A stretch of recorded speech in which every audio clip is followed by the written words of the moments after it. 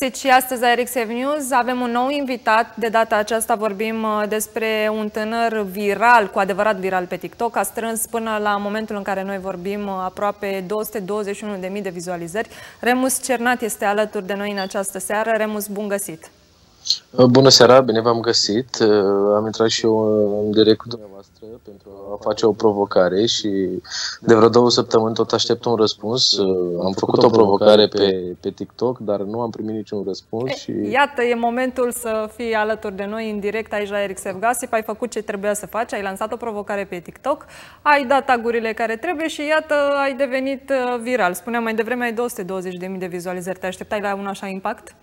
Uh, sincer, nu mă așteptam la un așa impact, dar uh, având în vedere că Ovidiu Neveu este și el viral pe TikTok și la Eric Sef, uh, se pare că a prins. Bun, vorbim de Ovidiu Neveu. De ce Ovidiu? De ce Ovidiu? Sincer să vă spun, mi se pare un tip foarte arogant, adică este arogant, nu mi se pare mie, nu o spun doar eu. Și mi-aș dori să-l aduc un pic cu picioarele pe pământ, să-l trezesc din visele alea lui cu McGregor și cu ce visează el și așa mai departe. Adică ar trebui trezit, că după bătaia care a luat-o de la Iancu, el a rămas în lumea viselor. Tu ai văzut acolo că, așa cum spuneai, este, e foarte viral. La rândul tău și tu ai uh, devenit, cum uh, vorbeam mai devreme. Uh, nu ți-e teamă, nu știu, de publicului, de comunitatea lui, de toată susținerea pe care el o are?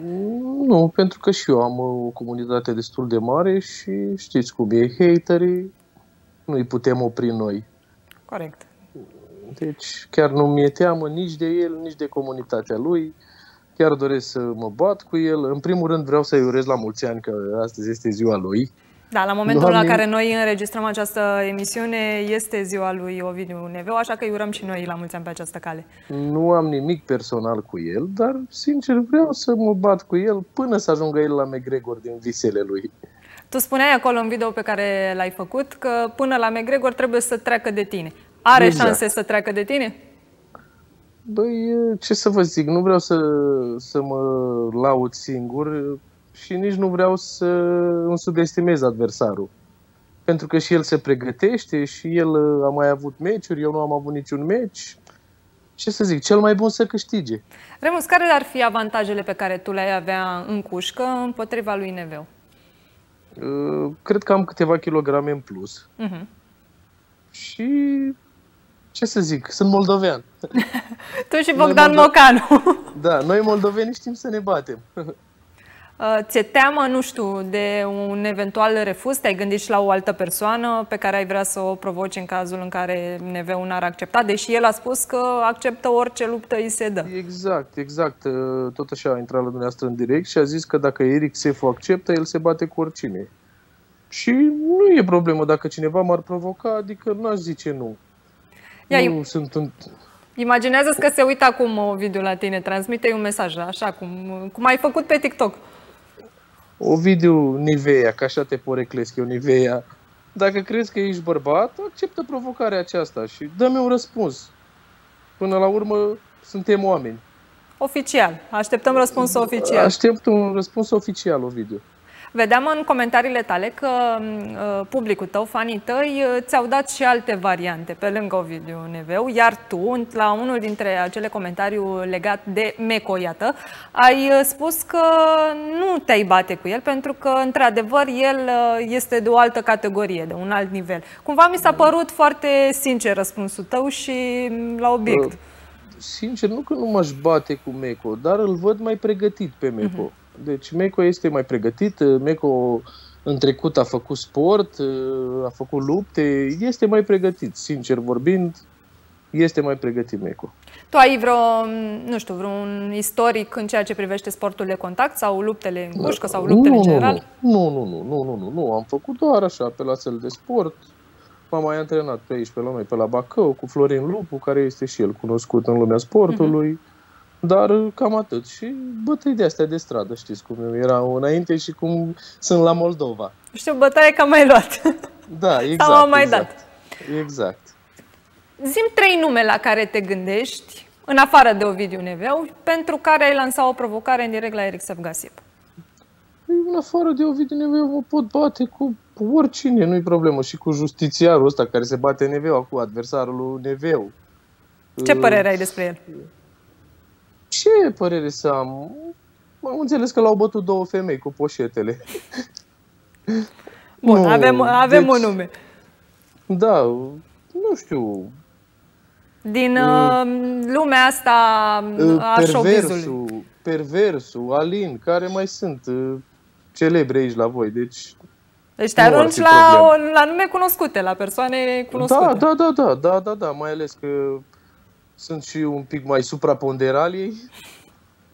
Deci nu ar fi o problemă. Care crezi că sunt principalele tale avantaje împotriva oricărui uh, potențial luptător?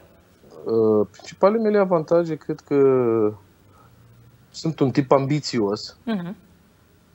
Și dacă ar fi să lupt în RXF, uh, aș fi foarte serios și m-aș pregăti foarte bine. Uh-huh. Bun, deci, uh, deci seriozitatea, ambiția și... Exact.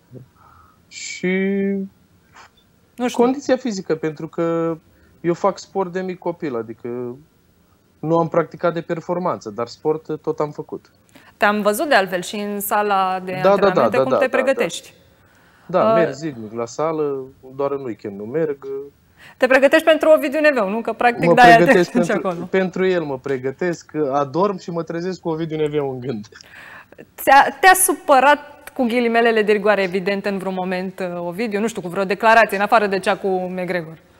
Că ai spus nu, că e arogant. Nu, nu, nu, nu, nu, nu, aroganța lui, felul lui de a fi. Deci asta uh, crezi că deranjează nu neapărat pe tine, cât și publicul care exact, se uită Exact, exact, exact. Și atunci ce ar trebui să facă? Nu știu, să și lucreze... Văd, și, sincer, yeah. văd și un pic de vină în chestia cu seiful. Ce ar, ce ar trebui să facă Ovidiu ca să, nu știu, crezi că îi aduce un plus lucrul ăsta sau crezi că din contră îl trage în uh, jos aroganța pe care o uh, Cred că arată. are și un plus și un mhm. minus. Părerile sunt împărțite. Și tu de care parte a baricadei ești? Eu uh, cred că ar trebui să fie un pic mai smerit. Că asta cu smerenie, smerenie, smerenie, ia uite, mă și bâlbâi când uh, vorbesc de smerenie. Cu smerenia în, uh, în sport uh, se aplică? Sau da, acolo trebuie să-ți intimidezi adversarul, să arăți că poți, nu știu, poate să provoci păi teamă? Nu, eu cred, că, eu cred că să arăți că poți, trebuie să o faci în ring. Să-ți domine Știi că Ovidiu are două meciuri câștigate până în momentul de față. Da, știu, știu. Tocmai de asta am zis că ar trebui să accepte provocarea mea, pentru mm-hmm. că el s-a mai luptat, iar eu sunt la primul meci. Deci, practic, adică asta ar fi cumva un dezavantaj pentru tine. Exact, pentru mine este un dezavantaj, pentru că el este pregătit. Ți-a răspuns până în momentul de față la vreuna dintre provocări, la nu, vreun mesaj? Nu, nu, nu. Și i-am scris și pe Instagram și pe TikTok-ul lui și pe toate rețelele astea de socializare și nu mi-a dat niciun răspuns.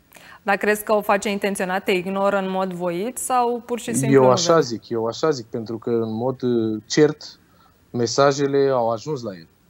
Și atunci ce îi transmiți în cazul în care se uită la noi acum? îi transmit că ne batem într-o gală televizată cu arbitrii, nu ne batem pe stradă, nu ne batem uh, în fața blocului, în spatele blocului, adică totul este regulamentar și nu are de ce să-i fie frică pentru că el este pregătit, iar eu urmează să mă pregătesc dacă ar fi. Pe ce reguli ai, ai, ai vrea să te bați în cazul în care ai intra într-o... Uh, eu aș vrea pe kickboxing. Uh-huh. Da, dar accept orice regulă dorește el, nu e problemă. În principiu eu pe kickboxing, că am mai practicat kickboxing, am mai practicat pe la sală pe aici. Îl vezi pregătit pe Ovidiu Neveu pentru gala din 6 iunie? Eu, sincer, da, am văzut că se pregătește, da. da, da și da, dacă da. ar fi să dai un prognostic așa între cei doi, care ar fi favorit? A, îl bate Neveu. Păi dacă pe justițiarul l-au bătut două femei cu poșetele, vă dați seama că îl bate Neveu. Ai spus mai devreme că l-ai, l-ai, te-ai bate și cu uh, justițiarul și spunea mai devreme, avem justițiarul, avem Neveu, Uh, cine da. mi-ai spus? Uh, Alin, Perversu, Alin, Andy. Perversu, Andy. Care Andy? Andy, care Constantin. Da, da, da. Andy da, da, Constantin. Sau um, chiar cu moldoveanul meu, cu Mihai m-aș bate dacă ar fi. Aftanase. Da, da, da, fără nicio problemă. Mihai e destul de înalt, nu știu ce înălțime ai tu, îmi permit să te întreb? Eu am uh, 1,76. Eh, a, el e un pic, mai, un pic mai mult mai înalt, dar nu cred că are deveni... Nu, nu, nu, nu ar fi o problemă pentru că eu cu Mihai ne știm din sala de sport. Am făcut a, un deci sparring și de asta am zis. Voi și cunoașteți deja. Da, da, da, ne știm, că și el este de la Iași. în, în momentul de față știu că se antrenează acolo, va fi prezent și el pe, la conferința din, de săptămâna viitoare de, de aici, de la sala Luceafărul. Ești pregătit pentru luptă? Așadar, așteptăm răspunsul lui Ovidiu Neveu ca să avem un răspuns final, nu știu, o provocare dusă la bun sfârșit sau nu. Indiferent exact. de răspunsul lui, îți dorești să intri cu oricine, mi-ai zis, da? Da, da, da, fără probleme. Atunci, transmite-le un mesaj tuturor celor care se uită la tine, indiferent uh, de nume. Uh, aștept și eu un luptător pentru Next Fighter și sper să îmi găsesc un adversar un, pe măsură. Un, adver, un adversar pe măsură. Remus, îți mulțumesc tare mult că ai intrat uh, astăzi în direct cu eu. noi. Și voi, cei de acasă, nu uitați că puteți fi următorul nostru uh, invitat. Dacă faceți un filmuleț, devine uh, viral pe TikTok, tag Erixef Gasif, tag Erixef Memea și, bineînțeles, deveniți virali. Pe curând! O seară bună, vă mulțumesc! Eric Sef Live Urmărește live galele Eric Sef. Înregistrează-te în contul tău Eric Sef și bucură-te de o experiență fluidă de vizionare oriunde. Intră în universul Eric Sef. Descarcă aplicația atât din Google Play cât și din App Store. Eric Sef.